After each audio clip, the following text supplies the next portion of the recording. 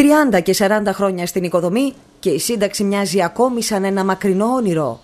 70 χρονών όποιος έχει δουλέψει στην οικοδομή καταλαβαίνει ότι δεν γίνεται μέχρι τα βαθιά γεράματα να ανεβαίνουμε στον τρίτο και στον τέταρτο όμο με 40 κιλά τσιμέντο πάνω στους ώμους μας. Όσο αυξάνεται τώρα η ηλικίας, αυτό δεν έχουμε τα τραγικά δυστυχήματα που συμβαίνουν και είναι καθημερινά. Οικοδόμοι 60, 65 και 70 ετών ακόμη πάνω σε σκαλωσιές.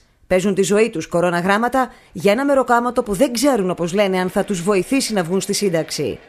Όπως τον κύριο Γιάννη, που στα 66 του χρόνια έχασε την αναπηρική σύνταξη που έπαιρνε για μια επταετία και γύρισε και πάλι στη δουλειά στην οικοδομή για να συμπληρώσει τα ένσημα που χρειαζόταν.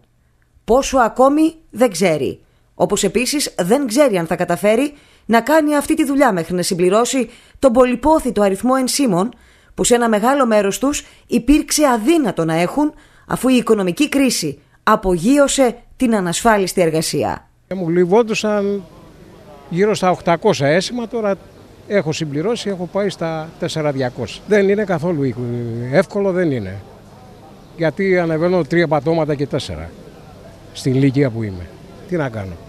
Δεν γίνεται να συνεχίσει αυτό το πράγμα. Είμαστε 2023, υπάρχουν ανάγκες. Οικοδόμοι από όλη την Κρήτη σήμερα πραγματοποίησαν κινητοποίηση με κύριο αίτημα να διανεμηθούν τα υπεραγνώστων ένσημα από τα οποία το κράτος έχει κερδίσει από το 1984, οπότε και έπαψε να τα μοιράζει 247 εκατομμύρια ευρώ. Διεκδικούμε τη διανομή των υπεραγνώστων ενσύμων που έχει να γίνει από το 1985 εδώ και 40 χρόνια περίπου είναι ο, ο κόπος μας, είναι τα ένσημα τα οποία τα έχουμε πληρώσει εμείς οι οικοδόμοι και τα απαιτούμε εδώ και τώρα. Τα ένσημα είναι δικά μας, τα έχουμε πληρώσει. Είναι όπως αυτό που λέει το πανό του Συνδικάτου Οικοδόμων Ηρακλείων. Τα ταμεία φτιάχτηκαν με τα δικά μας ονόματα, με τα δικά μας χρήματα. Οι οικοδόμοι εξήγησαν ότι η επικινδυνότητα για τους συναδέλφους τους που έχουν ξεπεράσει τα 60 και 65 τους χρόνια είναι πολύ μεγάλη.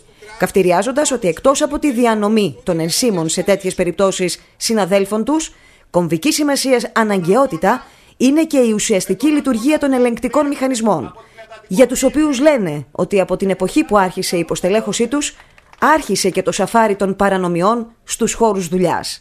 Δεν γίνεται μέρα νύχτα να δουλεύουμε όπως ήταν και πριν λίγα χρόνια μέσα στην οικονομική κρίση της οποία μας είχαν προσάψει να δουλεύουμε όλη μέρα με ένα μισθό 30 ευρώ για να βγάλουμε τι ακριβώς, τη δική τους οικονομική κρίση. Εμείς αυτό λέμε και μαζευόμαστε σήμερα.